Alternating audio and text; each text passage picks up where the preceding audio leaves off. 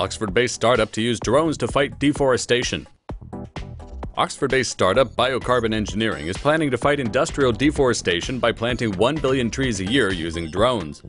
The drones used by Biocarbon Engineering would first fly above a selected area, map its level of deforestation, and then report its potential for reforestation. After that, automated planting drones carrying seed pods would fly 1 to 2 meters above the ground, following a predetermined planting pattern and fire germinated seeds into the soil. A small pressurized canister would provide the necessary propulsive force for the seed pods to easily penetrate the soil surface. Seed pods filled with nutritious hydrogel to reduce impact forces on the seedlings during planting would then break open upon impact and allow the germinated seeds to grow.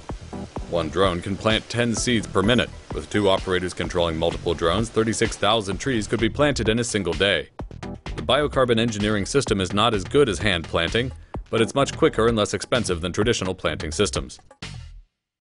See a story that really should be animated? Suggest stories to Tomo News now.